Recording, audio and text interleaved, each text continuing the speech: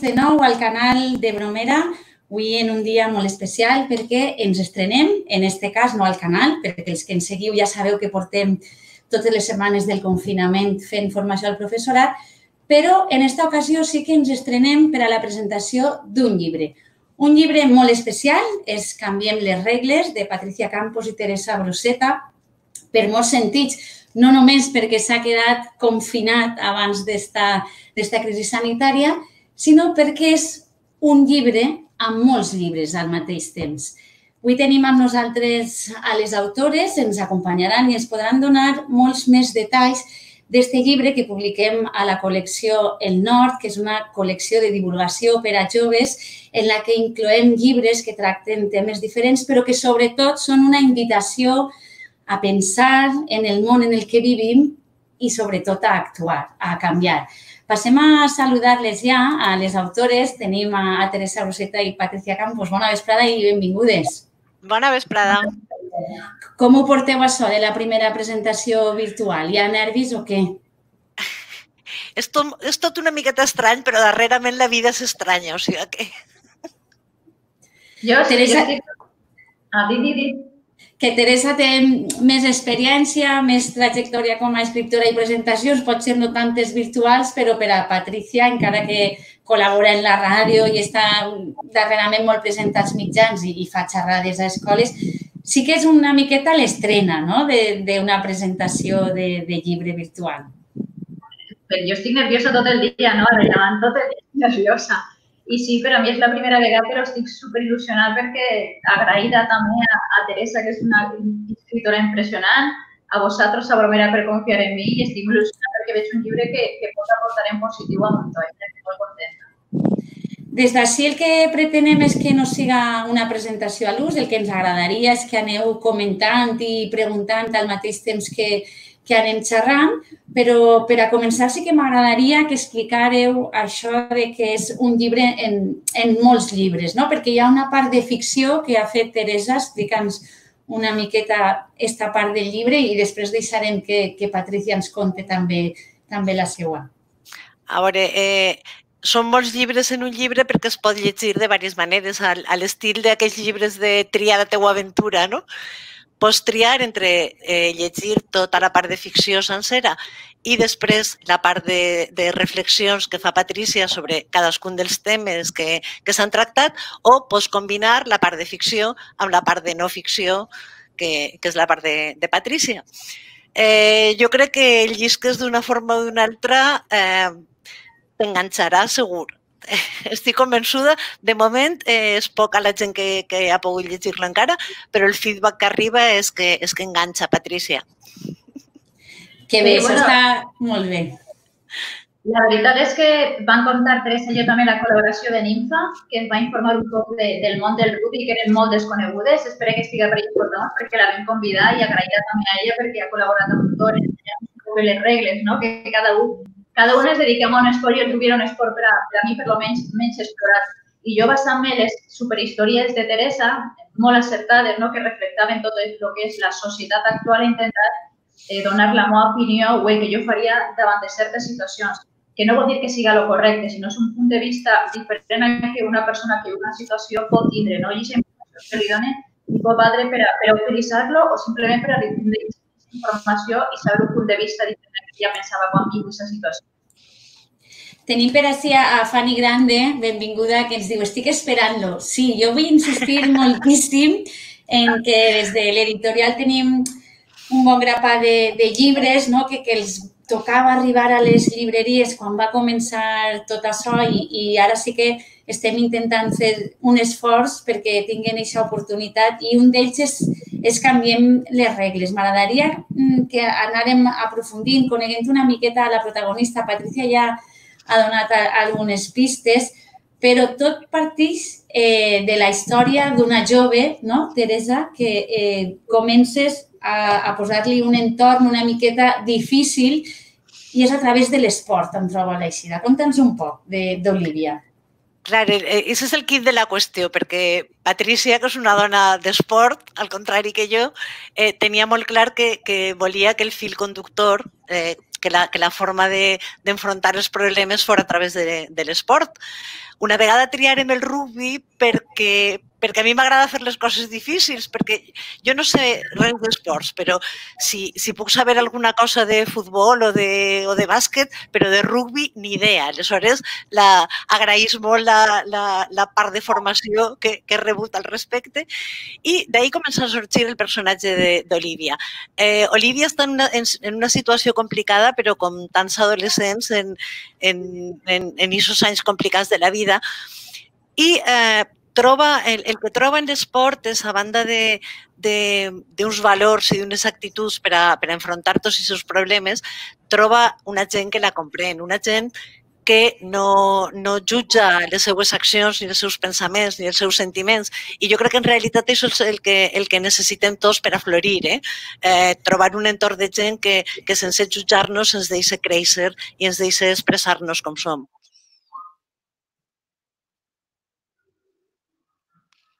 Esteu ahí?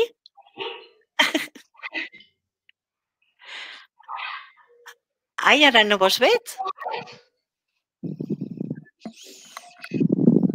A mi, a mi me sents o me veus? Ara, ara te sent, no veig a ningú. Que jo sí que te veig i te sent. Si vols xerrem tu i jo hasta que Sandra se reincorpore. Clar, clar, clar. Doncs, sí. a, digues, digues. No, no, no, per favor, continua.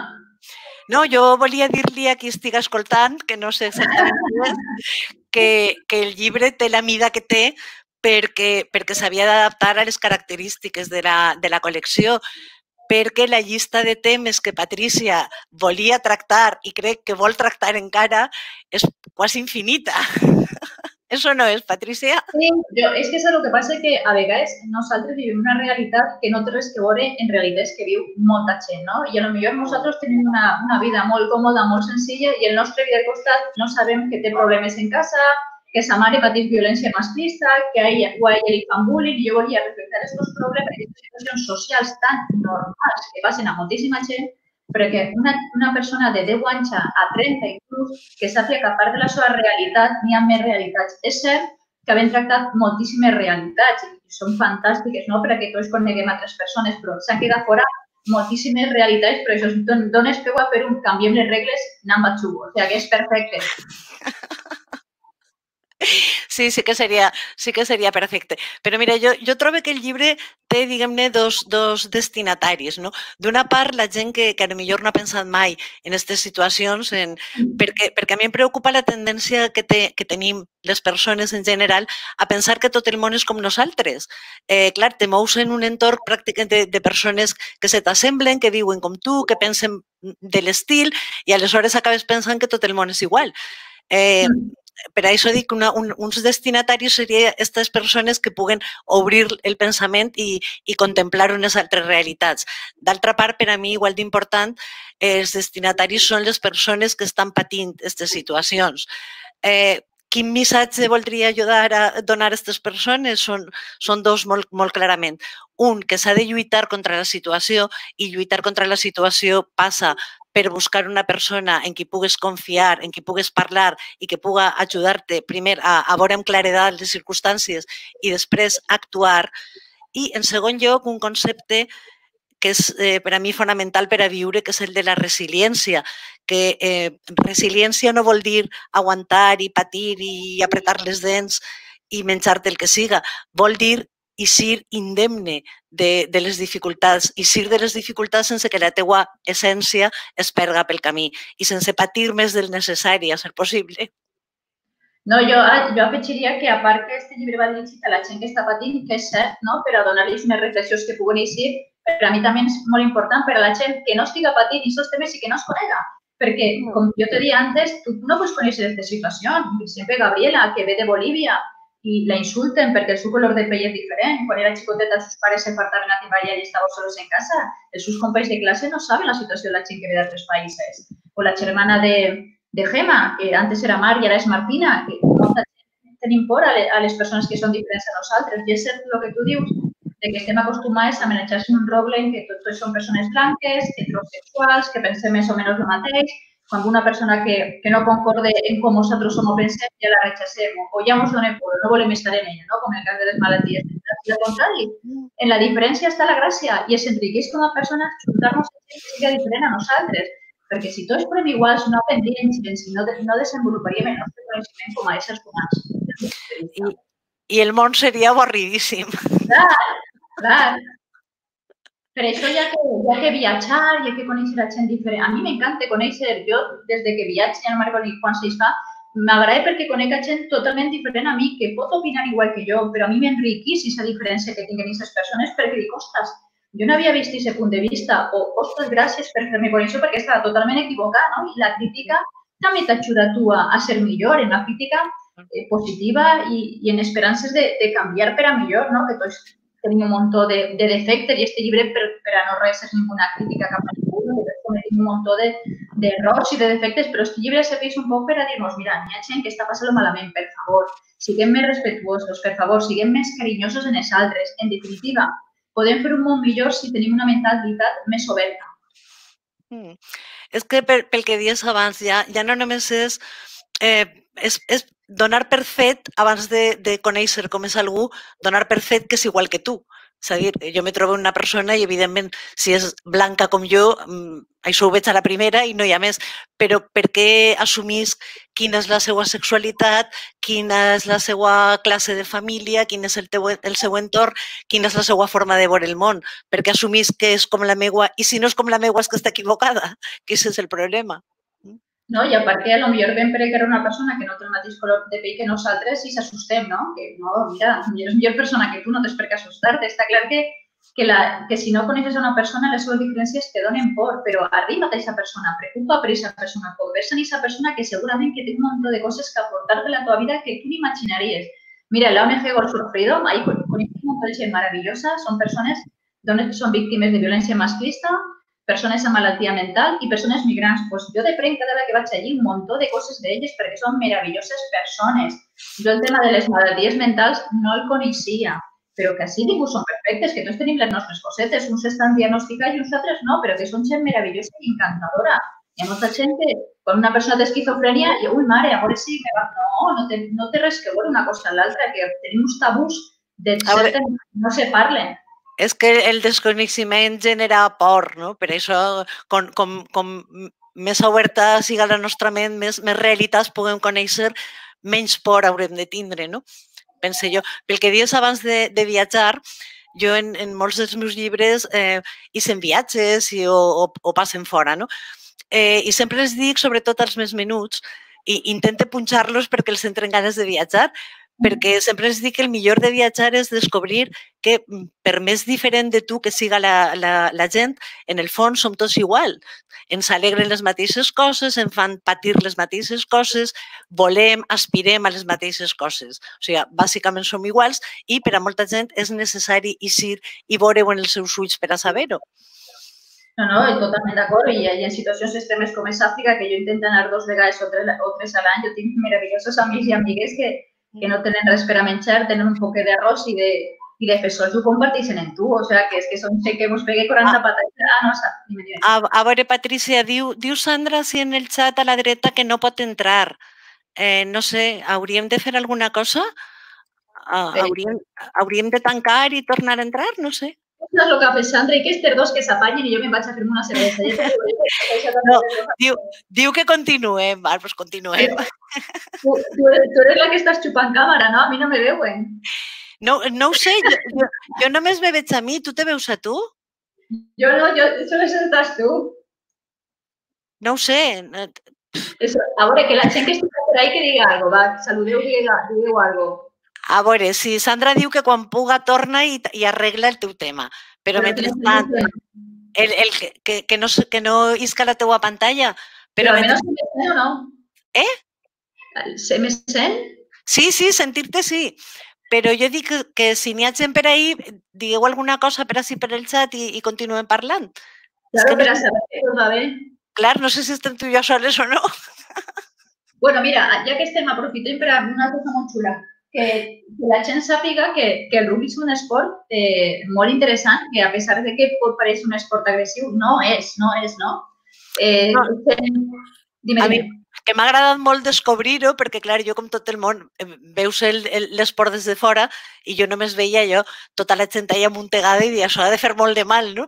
Però eh, quan comences a, a, a, a entrar i a descobrir i a conèixer les regles, m'he quedat en la boca oberta i, de fet, per això realment al final el rugby sí que és el fil conductor perquè tots els títols dels capítols eh, estan basats en alguna norma fonamental del, del rugby. Ho he trobat un esport i, a més, m'ha semblat fascinant que és eh, que, que, que el puga jugar gent de, de complexió física molt, molt diferent, o sigui, que, que tot el món pot trobar el seu lloc al, a l'equip de rugby com al món.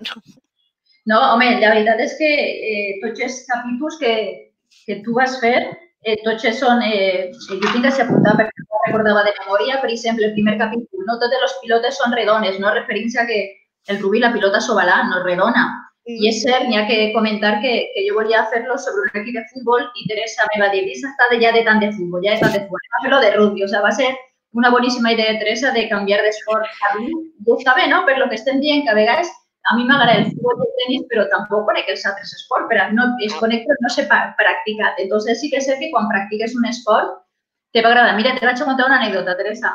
Ah, Nosaltres bueno. mujer, Begoña, no sé si està per ahí, lo agradezco un montón. Bueno, donar les gràcies a tota la gent que s'ha connectat, no? que, que és un plaer que, que quan jo convoco a la gent que, que donen aquest carinyo que estiguen, jo estic super agraïda. Així que, com jo no vos veig qui està connectat, un besito i un agraïment total per a. Bueno, Begoña, que és de la Federació de Pilota, ens va convidar a l'ONG Solfido a, a practicar la pilota valenciana, un esport que jo no coneixia i pensava que no m'agradaria. Me va encantar el one goal, saps? És com saps el que és la pilota, que li pegues en la mà n'hi ha diferents modalitats, doncs me va encantar. Després, Amparo del Cau València de rugby ens va convidar un dia a jugar rugby. Pues me va encantar el rugby, saps? Dime, dime. Uh -huh. Que acabé de descobrir on estan els comentaris de la gent. On estan? Mira, veus a la dreta, diu el xat, el xat privat, que és on estem parlant tu i jo en, en, en Sandra, a la dreta estan els comentaris piques ahí i ara veu, veig que n'hi ha persones, ah, gràcies, gràcies a totes les persones que esteu i que, i que ens estaven parlant-nos, però clar, no els hem fet ni cas. Ara, ara ja vos farem cas, de veres. Vale, vale, ara sí que... Sí, ara ho tens? Que me senten però que, que no me veuen, vale. I estan Exacte. totes les meves amigues de onda. Di que sí, di que sí, molt clar. bé. Val, ara ja vos veig. Perdoneu, si algú havia fet alguna pregunta, algun comentari que no fora de la qüestió tècnica, que ja sabem que, és, que tenim problemes, si no vos importa repetir-la perquè m'he perdut perquè n'hi ha molts comentaris i parlem del que, del que vulgueu. Veig que eh, Lourdes diu per així el rugby és un deporte de villanos jugado por caballeros, efectivament, és una dita que, que m'agrada molt. Eh, no, és cert, no? la veritat és que sí, que és un xoc que aparentment, com jo te dia, és agressiu, però no és per a en el futbol que a mi te poden fer una patada mal pega i te poden fer mal, per a res. El rugby és un esport que que és de xoc, és de confrontació, però és difícil que ho facin a propòsit fer-te mal. I dona compte que quan van a dirigir-se a no és com en el futbol, de males maneres o manegen les mans en els no, no.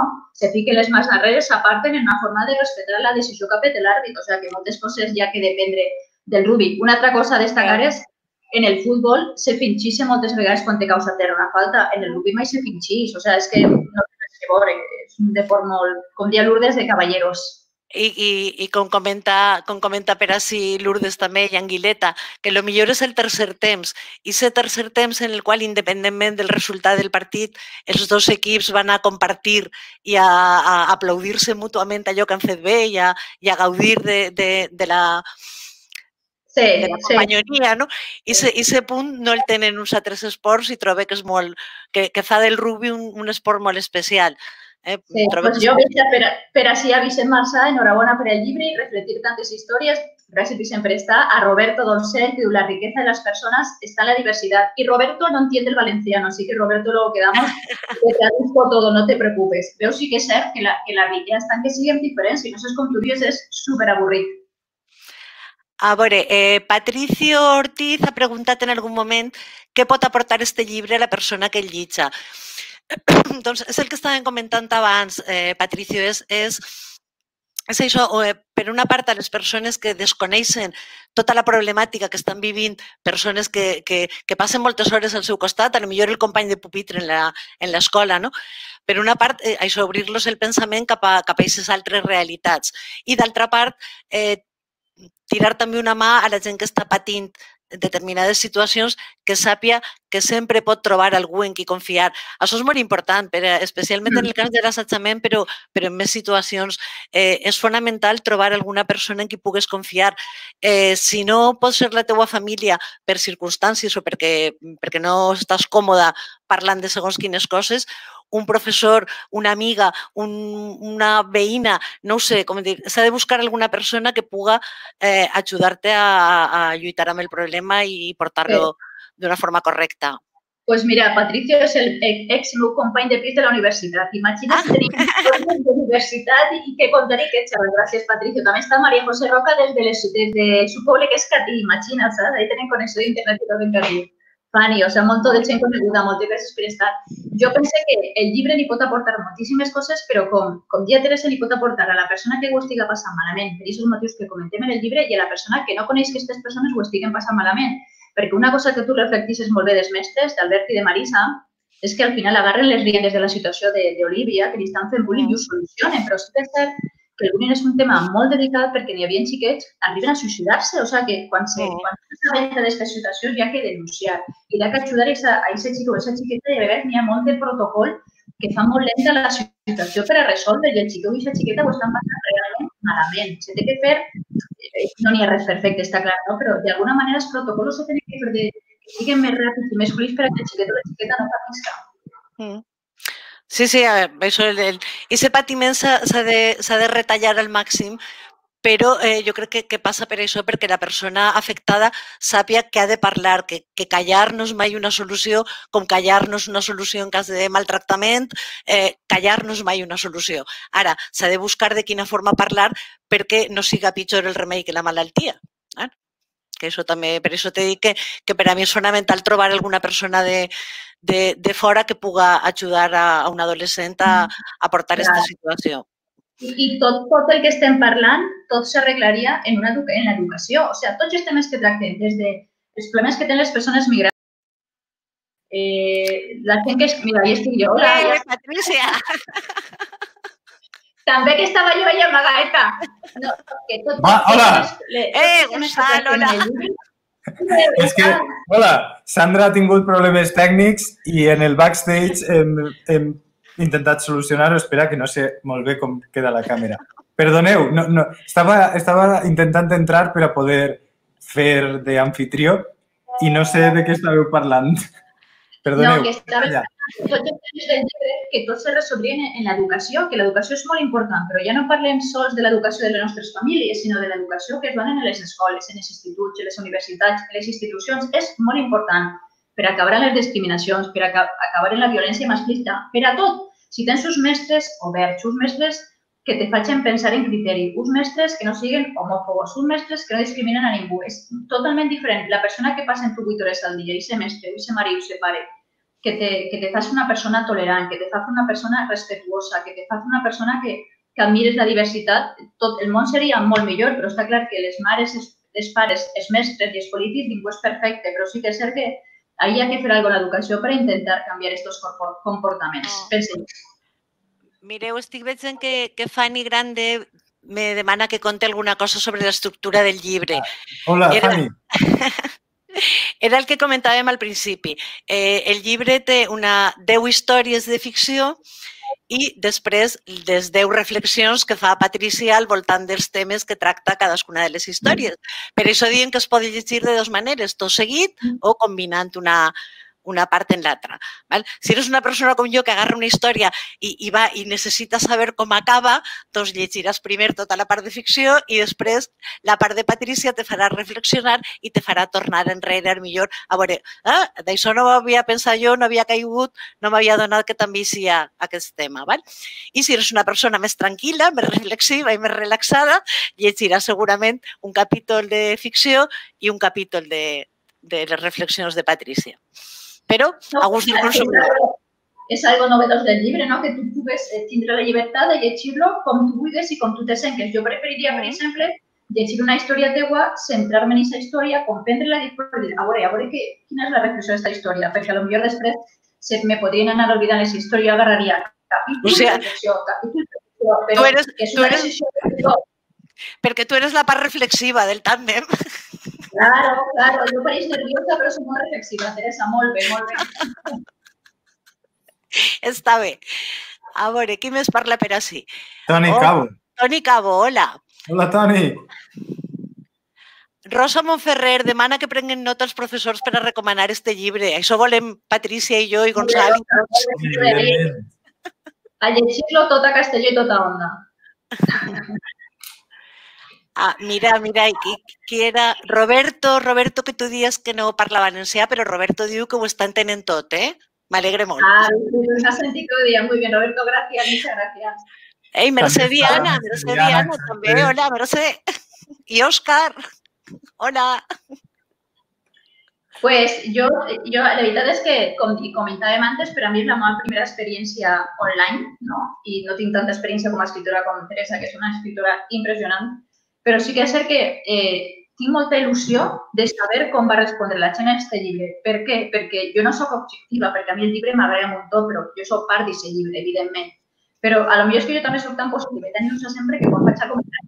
Però realment m'agradaria saber què pensa la gent, els mestres i la gent jove des de 10 fins a 30 d'aquest llibre, no? que si es pot aportar en positiu, perquè jo penso que és que escrivim, quan escrivim alguna cosa ho fem per, per a intentar ajudar, per tra- tractar un tema que a mi, per exemple, com a dona lesbiana, m'haguera agradat que m'haguem contat, perquè jo no, per exemple, jo tinc 43 anys, jo no coneixia ninguna dona lesbiana, potser si hagués tingut un llibre com canviar les regles, m'haguera donat compte que les mares d'Olivia són lesbianes. I jo hauria pensat, ostres, pues no sóc un bitxo raro, saps? Que és un llibre que, que en situacions diferents de vulnerabilitat de, cada persona te pot anar molt bé. Per això jo tinc moltes il·lusions en aquest llibre perquè és tan transversal, és igualtat, és respecte, és diversitat, integració, ho té tot. Veig que eh, Begoña, de Fetvival, ens pregunta quant de temps vos ha costat eh, preparar este, este treball conjunt. Ella diu que no sap si ho heu comentat, jo tampoc, perquè he estat intentant connectar-me per Bé, darrere. Begoña es, Teresa Begoña es la, la chica que te contaba de la pilota de Federació de Pilota. Que Ah. de la. No, que estàvem parlant antes que a lo millor mos agraden certs esports, però no pots opinar d'uns altres perquè no els coneixes. I a mi me va convidar a ella a jugar a la pilota i me va encantar. A mi m'ha costat prou perquè la meva part era, me sentia molt responsable, perquè la part de Teresa era ficció, però la meva és realitat. I tot el que conte ho he viscut jo o és el que penso. Entonces, la meva idea era poder ajudar, poder aportar i me sentia molt responsable de lo que estava escrivint. Per això a mi me va, me va costar molt de, de pensar-ho, de concentrar-me i d'escriure per a que s'entenga i la persona que necessiti ajuda que la pugui agarrar. No sé, Teresa, tu... A veure, jo és que, com normalment eh, la meva forma de treballar és un poc també caòtica i un poc estranya. No? Jo no, no puc arrencar fins que no trobe el fil d'on estirar i a partir d'ahí ja tot va fluït. En aquest cas, eh, el, el fil d'on estirar va ser la primera frase, el primer títol. No totes les pilotes són redones. Eh, sembla una obvietat, però eh, quan, quan aquesta frase se'm va fer clara en el cap, d'alguna forma tota la història va eixir i, i, un, un, un personatge darrere de l'altre d'una forma molt natural, molt fluida. I jo pensava que no, pensava que em costaria molt perquè eren temes delicats, eren temes complicats i, i, i eh, no sé, d'alguna forma també eh, no es tractava de donar una visió apocalíptica del món, no? Havia d'estar, no ho sé, d'alguna forma també fer, fer que la lectura eh, fora agradable i fora fluida. Però ja te dic, jo, jo em vaig sorprendre perquè a partir d'aquesta frase i, de, i després d'haver estudiat eh, les regles del, del rugby, fins i tot d'haver vist, no partits sencers perquè sóc incapaç, però trossets en, en internet i haver entès molt poquet, però eh, en algun moment se'm va fer la llum en el cap i vaig ir tot seguit. I i Ninfa que mos va ajudar? Ninfa, te recordes? Ninfa, Sí, va sí, sí, clar que sí, clar. Perquè, a veure, jo havia de preguntar les coses més, més bàsiques i, i ja no, no tant ja dels partits eh, com dels entrenaments, perquè, clar, bo- bona part de les relacions entre les xiques passen en el temps que estan entrenant, no, no durant el moment que estan jugant un partit. Aleshores, jo no, no, és que no desconeixia absolutament, però una de les coses que més m'agrada d'escriure per a xiques i per a joves és que sempre trobo algun tema que desconec i que m'he de documentar i, i, i bé, sempre se m'obre alguna finestra que no sabia que estava ahí. Que xulo. Veig que Reme Gadea Pregunta a Patricia, has dit de 20 a 30 anys, són les edats recomanades? Jo com a editor po podria contestar alguna cosa, però, i així aprofito per dir que soc l'editor. No, no te talles, contesta, tu eres l'amo. No, no, jo, jo, jo, com vegeu, ni estava pentinat. Eh, no, l'edat prototípica per a la qual pensem un llibre d'aquestes característiques, si Teresa, això sí que ho he pogut escoltar, us suggeria, és de 14 a 18 perquè és un llibre pensat sobretot per a, per a ser llegit durant l'adolescència i per a que tinga bona entrada en el circuit escolar, com apuntava també a des alguna persona en els comentaris. Ara, a partir de un poc d'eixes pautes que dona la col·lecció Nord, que és on està publicada, crec que és un llibre prou sense edat. Em podreu corregir vosaltres. Una altra cosa és fins a quin punt les persones joves, adultes, poden eh, ser, exercir de recomanadores d'este llibre per a que les persones més joves tinguin una experiència vital satisfactòria i tinguin una experiència vital menys conflictiva i més acompanyada. Jo sí que crec que les persones que ara estem, jo ja no estic en els 30, estic en els 30 i molts, però les persones que podem acompanyar a persones més joves, que tenen la meitat de la nostra edat, per a que no patisquen el que alguns de, de nosaltres hem pogut patir per diferents raons, doncs estarà bé i pensa que des d'aquest punt de vista Canviem les regles és un llibre interessant tant per a les persones que ara són adolescents com per a les persones que, que ara ja no són adolescents però tenen relativament pròxima l'adolescència i relativament pròxim el món adolescent per la seva faena, per la seva vocació, per la seu activisme o el que siga. No sé, vosaltres, Teresa, Patricia. Jo, jo havia dit de 20 a 30, però de, de, de 20 a 30 no. Jo havia dit de 10 a 30, crec que havia dit jo, però bé, no passa res. No, sap, però segur perquè ho he dit, jo, jo vos explicaré per ho he dit, perquè a mi pensa una persona a 10 anys pot raonar, pot entendre el que estem contant i sí que és cert que n'hi ha molta gent que li pot servir aquest llibre de formació durant l'adolescència per aclarir els seus dubtes o per a conèixer altres mons, però la gent, per exemple, de 18 a 30, que ja no té, més, no té tants dubtes, no se sent tan insegura, potser no coneix les realitats que Teresa i jo estem xerrant. Perquè jo, com te deia antes, jo tinc una edat i quan vaig començar l'ONG vaig conèixer la gent meravellosa que té problemes mentals. Jo no tenia 30, tenia 30 i pico. Per això t'he dit que aquest llibre, l'he agraït tant, m'ha agradat informar de que n'hi ha altra gent diferent a mi, espectacular i meravellosa. Per això dic que, com tu dius, no té edat perquè els temes que tractem molta gent no els coneix, independentment de l'edat que tingues. No, Teresa, tu què dius? Sí, sí, no, jo estic d'acord en el que dieu. Estava llegint que Reme Gadea diu que, que, val, que es pot ampliar per dalt i per baix. Jo per baix no baixaria l'edat a més, de, més baix de 10 anys perquè són temes que encara no, no estan dins dels seus interessos i, i no crec que siga bona idea tampoc eh, forçar pensaments que no han arribat encara. No? Però a partir dels 10-11, també com sempre, en funció de la maduresa de cadascú i de la capacitat lectora, no? Però fins a aquesta edat i per dalt sí que no n'hi ha límit, de veres, perquè com dia Patricia és que pots tindre 30 i, 40 i, 60 i i no haver-te trobat mai en una determinada situació i no haver pensat mai en ella perquè com no ha passat en el teu entorn, no ha passat a la teva família o tu no saps què ha passat, no li has dedicat Clar. ni un pensament.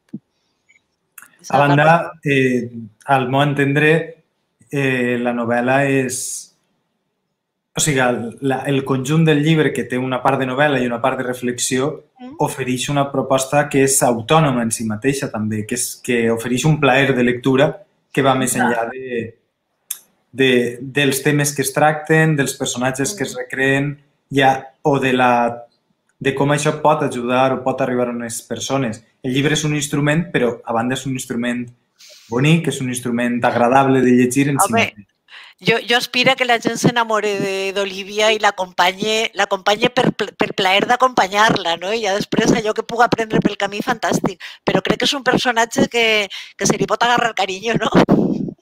Però a part, cada, cada personatge de, de la novel·la pot reflectir una, una persona o una personalitat de nosaltres mateixa, perquè cada personatge tu les has descrites molt bé unes característiques diferents unes de les altres i tot, totes les persones són un món diferent dins de nosaltres. Tu te pots enamorar d'Olivia perquè tu penses que te pesa Olivia. Jo de Gemma, una altra de Gabriela, que, que mai se sap no, que dic, jo te puc reflectir en cada personatge de la història o en un mateix englobant a moltes personalitats.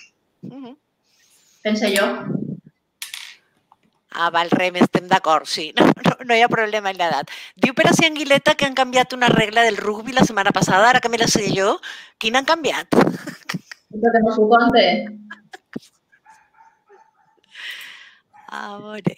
No, eh, jo, eh, com he entrat tard i un poc de repafuig, veig també que Sandra demana disculpes perquè ha tingut un problema tècnic. Bàsicament se li ha anat la llum en casa. Ai, pobra. Sí. I per això a través del mòbil, que no podia connectar-se, m'ha donat les instruccions. La primera vegada que participe en, en, esta, en, una, en una presentació digital des, del, des de la part de, de l'organització. Eh, per WhatsApp també me comenta una amiga que li, li estan entrant moltes ganes de, de llegir el llibre que ens, està, que ens està veient. Concretament ens estan mirant 35 persones, que està, que està molt bé ara mateix. No sé, no sé si... No, de moment no hi ha cap pregunta més. Mentrestant, eh, jo sí que, que volia preguntar-vos com, com penseu que, que és la, la perspectiva un poc... Com penseu que pot llegir el llibre una... Les diferents, els diferents perfils que apareixen retratats al llibre, quines sensacions penseu que, se, que podrien tindre en trobar-se reflectides aquestes persones i aquestes situacions en l'obra? Tant des de la part narrativa com des de la part reflexiva. Si algú llig el llibre Clar. i està vivint una cosa així, què penseu que, que passarà? A veure, jo, jo és, vull creure que en primer lloc un, un, un punt d'alegria, perquè la visibilització és molt important i, i trobar-te en un llibre vol dir que això que t'està passant no t'està passant només a tu. Quan algú ha escrit sobre això és que és una cosa que passa. Més persones ho han, ho han passat, ho han viscut, ho coneixen. Aquest és un primer punt. Un segon punt espera que els done idees, pistes de com dur avant la situació, de com intentar resoldre-la, eh, eh, de, com diem abans, Patricia s'ha de denunciar, però aquí, com, de quina manera, com convé fer les coses i sobretot eh, reflexionar, mireu, hi ha una cosa molt important que sempre voldria dir als, als adolescents. En aquests anys de la vida sembla que tot és per a sempre. O sigui, estic vivint una situació desesperada i això serà per a sempre, que és el que conduís al, al suïcidi que, que comentaves tu abans, Patricia, de vegades. Jo crec que, que, que seria molt important que pogueren entendre que tot s'acaba, que en la vida tot s'acaba. Les coses bones s'acaben i per això s'ha de gaudir d'elles mentre les tenim. Però per sort les coses horribles també s'acaben. Res no és etern. I després passa el temps i pots mirar darrere i dir ostres, que mal ho vas passar, no? Hem d'intentar minimitzar aquest patiment, que, que siga el menor possible, però, però que també sapien ells que no, que no durarà sempre, que en algun moment trobaran, i si seran d'aquest entorn, trobaran unes altres persones, la vida serà diferent i la vida podrà, oferirà moltes alegries i moltes satisfaccions. Jo, de veres, que aquest missatge per a mi és fonamental. Tot s'acaba, i a voltes ens sap molt mal que les coses s'acaben, però d'altra banda és molt consolador i és molt tranquil·litzador. Tot s'acaba.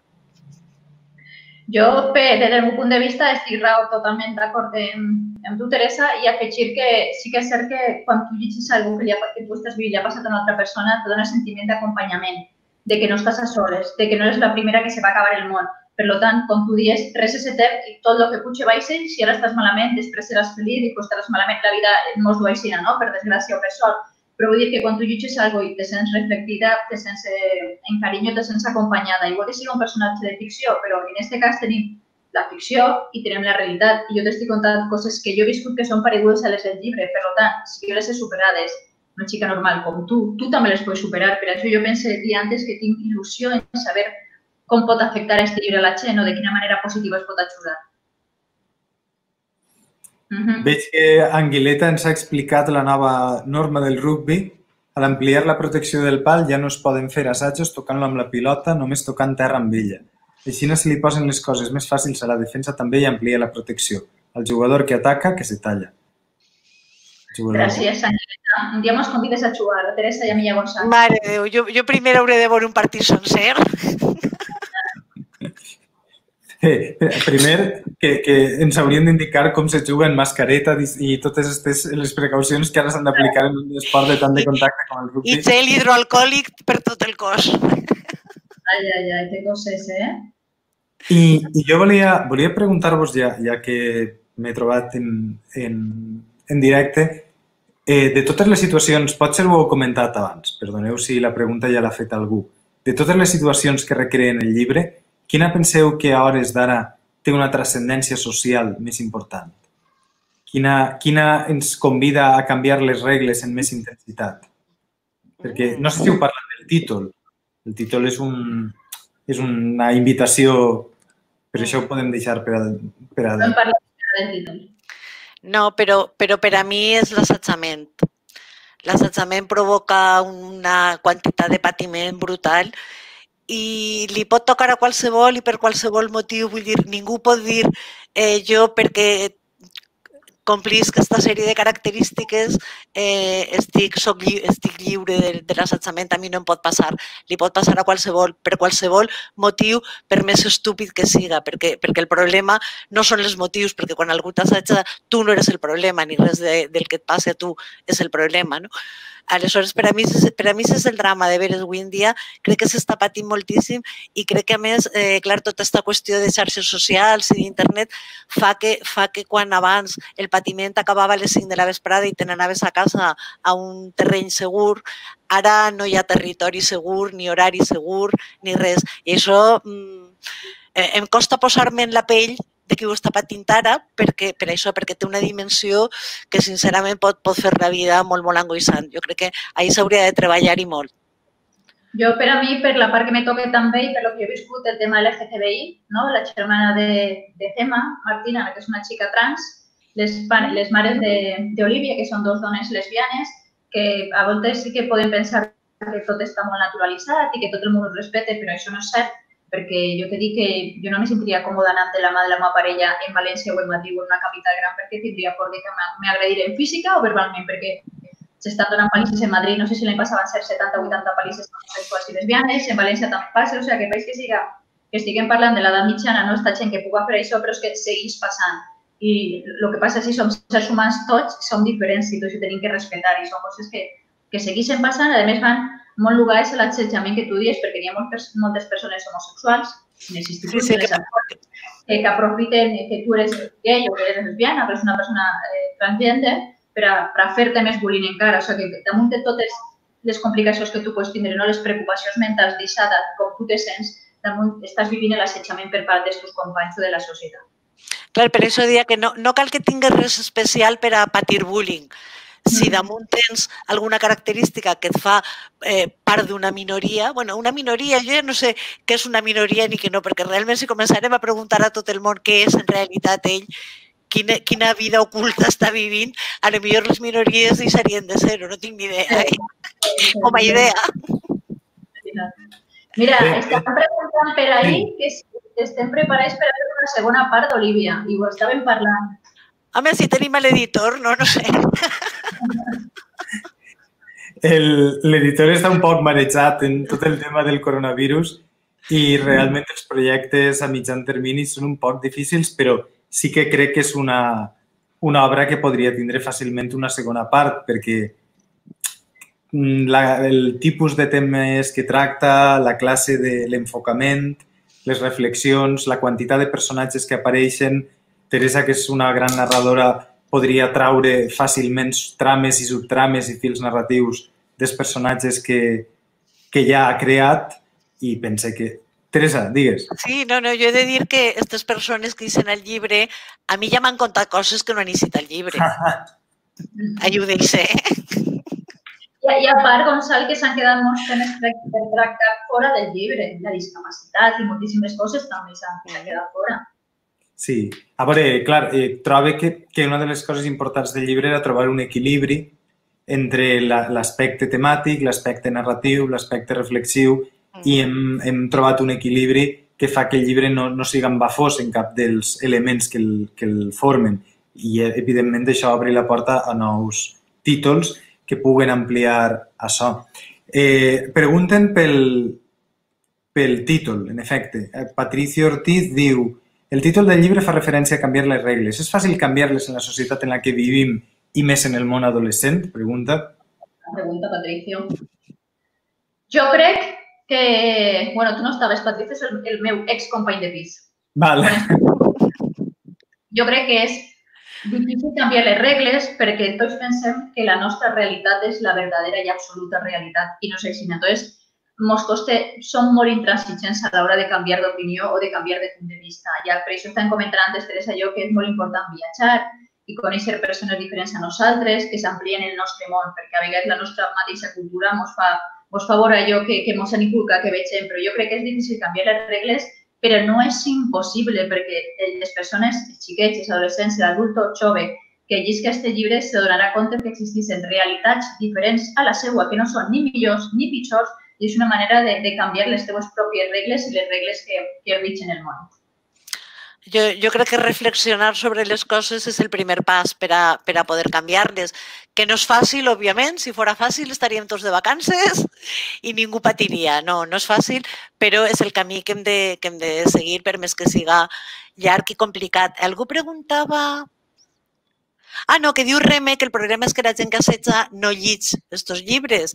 Eh, I mira, és, és, una, és un pensament que em fa trencar una llança a favor de, la, de les lectures obligatòries als instituts. Clar, jo perquè, també ho havia pensat.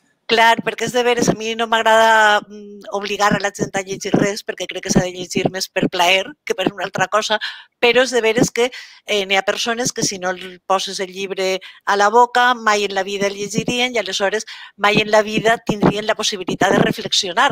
Confiem en que el llisquen encara que siga per, per, per imposició i reflexionen i d'ahir jo no sé, sóc optimista i crec en l'esperança. I jo crec que si la gent li pega voltes, sobretot si aconseguís veure que, que, que, la, que les persones no deixen de ser persones i mirar amb uns altres ulls a aquest company que des del principi ha estat mirant creuat perquè té alguna cosa, la que siga, que el fa diferent, i dir la que sigues, que t'igual que estigues gros, que prim, que sigues alt, que baix, que, que homosexual, que hetero, té igual, qualsevol pot agarrar-se qualsevol cosa per fer-te la vida impossible. Que eh, on hauríem d'anar en realitat és a per què, per què hi ha gent així, per què fan aquestes coses, quina carència tenen, quins problemes tenen.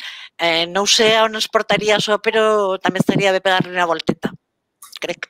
Jo diria a Reme que, que aquesta persona que fa l'assetjament tal vegada no llisca i com dia Teresa hi ha que obligar-hi a llegir, però la gent que el volta aquesta persona que assetja sí que pot llegir i dir-li al que assetja, escolta, ja ho tens bé, eh? perquè una cosa és prendre acció o, com diem en el llibre, ser un espectador, que acatxes el cap, no m'interessa esta guerra, o damunt dona suport a l'assetjador, que això també s'ho tenim que fer mirar tots, eh? que una cosa és el que assetja i l'altra és el que estem al costat que, que no fem res. També és molt important tindre l'iniciativa i el caràcter. No, no, hasta així és el que s'ha acabat.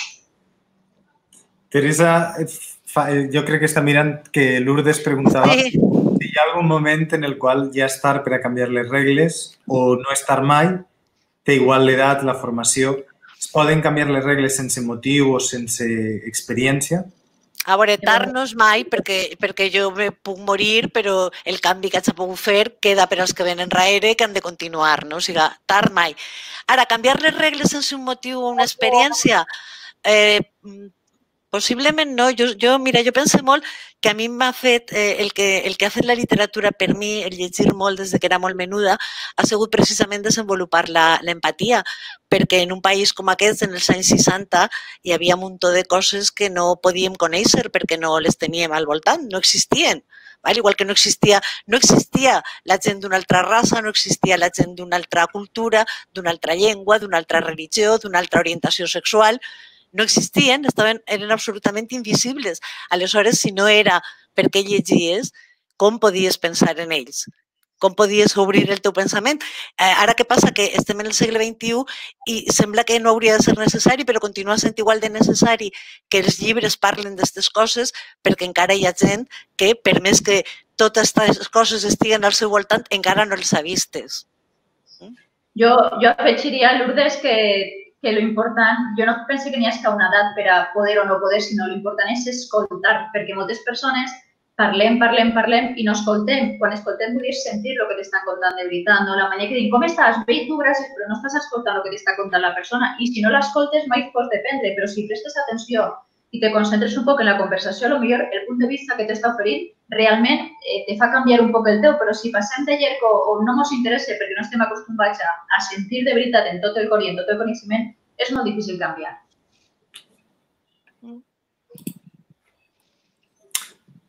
Eh, abans havia vist que, que Patricio preguntava també fins a quin punt, que lliga un poc en la pregunta de Lourdes, les regles es poden canviar amb més o menys facilitat durant l'adolescència.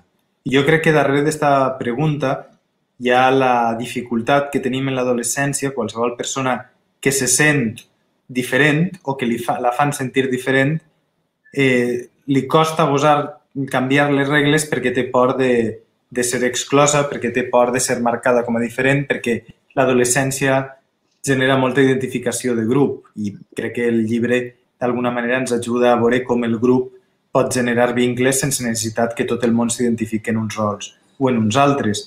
Però probablement sí que moltes de les persones que, que són profes i que puguen escoltar aquesta presentació es troben en aquesta situació, com els seus alumnes o que són persones que es dediquen a la inclusió social o a, o a l'esport, per exemple, com els seus alumnes o les persones que formen part de l'equip, doncs això, se, tenen, tenen, poden tindre dificultats per una certa inadaptació.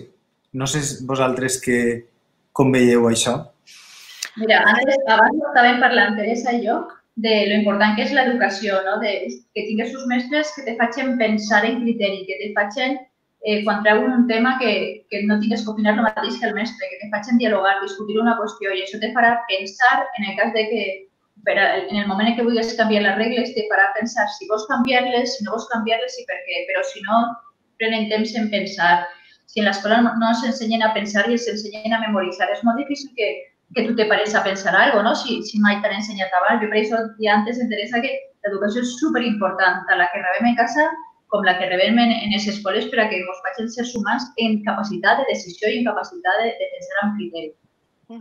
I l'adolescència és el moment de, de trobar el teu lloc al món, no? Mm, però el que dius tu de la, de la inadaptació, Gonçal, és que de la, de la inadaptació poden eixir les pitjors coses, però també les millors, eh? que, que eh, i ser falcar-se en un mateix i, i enfrontar-se al món i menjar-se-lo si cal, també, també pot eixir moltes vegades d'aquesta situació de sentir-se exclòs o ser diferent o, sentir, o sentir-se diferent. De tota manera, és que el punt està ahí, eh, sentir-se diferent, ser diferent, però mm, on està el problema? Si és que això és lo bonic i lo divertit i lo, no sé, a mi és que si tot el món amb qui parles veu el món en els teus ulls mateixos, al final saps què passa? Que la gent no parla. Perquè hem de parlar si anem a dir sempre les mateixes coses, ja? Doncs parlarem del temps o del que fan per la tele, però què més tenim que dir-nos? Eh, eh, tenim conversació quan, quan no pensem exactament igual, quan no, quan no venim de les mateixes experiències, quan no hem processat la informació de la mateixa manera, pense jo. Sí, mira, ahí tenim a, a Gemma Lluc, compañera de, de, la tertulia feminista que ven a punt, Gemma, Carlos Nacher, un trompetista Hola, Gemma. de Manises, i Ana Mari, que diu enhorabona, Patri, gràcies, guapíssima. Però sí que és cert que, que entre tots hem de canviar les regles, això està superclar, entre tots. Bé, jo estic en, en contacte amb Sandra, que té accés a, a WhatsApp i m'està donant algunes pistes tècniques, per això he pogut mostrar els comentaris que no, no sabia que se podien mostrar així també Roberto Doncel fa una metàfora aèria, com el penjoll que du Patricia ara. Ah, sí, un avionet, un avionet, sí. És un regal de ma mare, sí. I com Sandra m'ha comentat que més o menys havíem d'acabar a les 8, aproximadament, i com jo no havia moderat mai una, una presentació virtual, no sé molt bé quins són els usos i costums adequats, però veig que Fanny Grande també aplaudeix. Vaig a mostrar el seu comentari. Ara, així, Fanny, veus, eh, m'estic ensenyant. Volia, volia, veure, volia preguntar-vos, abans de, de tancar, com esteu, com esteu vivint tota la situació que estem experimentant aquestes últimes setmanes i mesos i, i com haurem de canviar les regles en aquest escenari nou. Perquè crec que darrere del títol hi ha una invitació a qüestionar-nos les regles que, que ens fan actuar moltes vegades de manera irreflexiva o de manera no del tot conscient i això, m'agradaria saber si penseu que cal canviar algunes regles, quines voldríeu canviar o penseu que s'haurien de canviar, quines no, i com afectarà tot això precisament a aquest públic adolescent al qual se dirigeix la novel·la. La novel·la, ah, la reflexió. Ai. A mi els adolescents, la veritat, els tinc clavats en l'ànima, perquè, perquè és una època de la vida on eh, només vols estar envoltat d'amics i, i estar en ta casa amb els teus pares és de les pitjors coses que et poden passar i eh, entenc que està sent, està sent dur eh? i els primers amors que no estan podent fer allò que han de fer. Vull dir que pense, que pense molt en... Eh, en realitat pense molt en la gent que no està en les meves circumstàncies, igual que pense molt en la gent que està en nanos menús en casa, que tampoc és ara mateix el meu cas, eh, i cada situació té les seues dificultats. Jo personalment ho estic vivint amb molta paciència perquè ja vos he dit abans que tot s'acaba tot s'acaba. Un dia, un altre, res és etern i aleshores hi serem d'una forma o d'una altra. Estic descobrint coses també de mi. Jo sabia que el carrer em feia molta falta, però ara tinc absolutament clar que jo bec del carrer, que això d'estar tancada en casa mm, m'està deixant sense, sense aire per a, per a crear més, més coses. Encara que també pense que, com la terra en el camp, també es veu que, que la terra descanse, que, que d'ací serà, crec que seran coses bones en el futur. Quines regles haurem de canviar? Jo, sincerament, espero que de, de, de contacte i de vida social no tantes. El que m'agradaria és que ens prenguérem la vida en una miqueta més de calma, que deixarem de córrer tant, que anem molt de pressa i moltes vegades anem tan de pressa que no sabem ni on anem.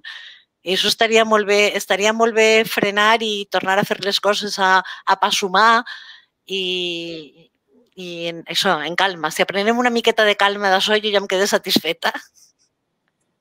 Jo, per la meva part, pues, eh, he aprofitat per a passar temps amb ma mare. Jo he viscut molts anys fora, pues, una experiència, tornar a viure en ella, molt bé, estem les dues molt contentes i molt bé. I és el que deia Teresa, que el coronavirus ens ha ensenyat a que tot se pot parar i no passa res si la vida continua, no? que a vegades tenim tantes maneres, tanta pressa que no se n'adonem que que no és tan important el que pensaven que era superimportant. Per això, un poc de calma i si algo no és, no passa res.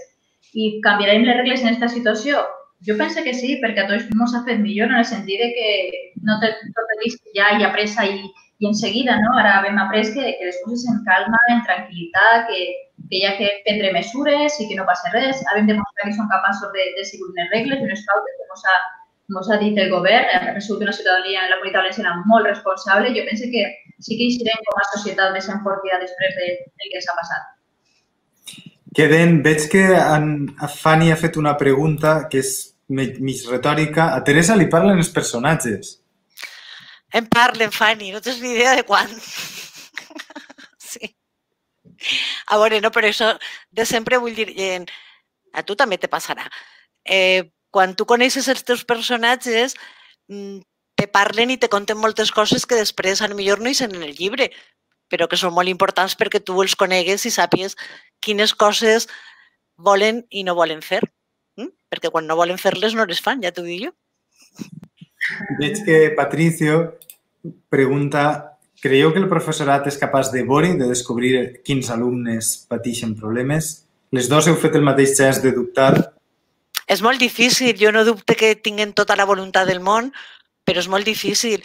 Una perquè... suggereix això. Clar, una perquè tenen, una perquè tenen molta gent davant i, i han de donar una matèria i ocupar-se de moltes coses i aleshores no tota la seva atenció pot estar ahí. I dos, perquè les persones que patissen totes aquestes situacions eh, eh, funcionen en realitat com els addictes, es fan expertes en, en, en dir mentides, en fingir, en tapar, en amagar i aleshores és molt difícil. Jo crec que ha de, o, o bé els trobes en un moment donat en una situació desesperada que ja és tot per l'aire, o bé a dir d'ells el anar a parlar del problema i a demanar ajuda. Per això dia que ells han de saber que han dir a demanar ajuda. És molt difícil entrar, pense jo. Eh?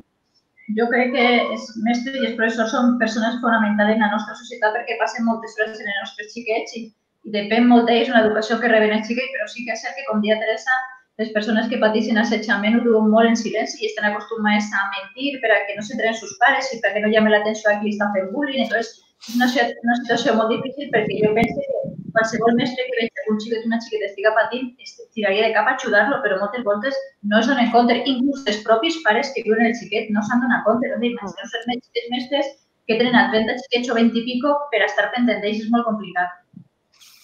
Mm. Molt bé. Així, on estic jo, el Micalet toca les 8. No sé si, si entra el so en... No. I més o menys crec que hem d'anar acabant, així que convide a les 36 persones participants a fer les últimes preguntes. Patricio encara pregunta, què podríem fer per a canviar-ho? Eh, això que te jo, eh, eh ensenyar-li, ensenyar als nanos des de benvenuts que les coses s'han de parlar, que, que s'ha de buscar ajuda on siga i com siga. Això és molt important. Jo crec que, que hem de desfer aquesta confusió que se dona freqüentment entre parlar de les coses, denunciar les coses i xivar-se.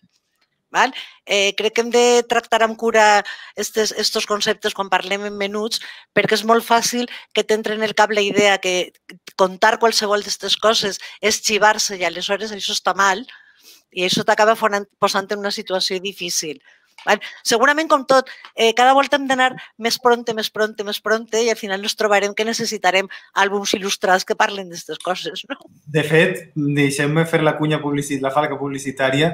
Tenim en Bromera un àlbum que es diu Ara em dic Joana, mm. en tàndem, concretament, que parla de transexualitat infantil.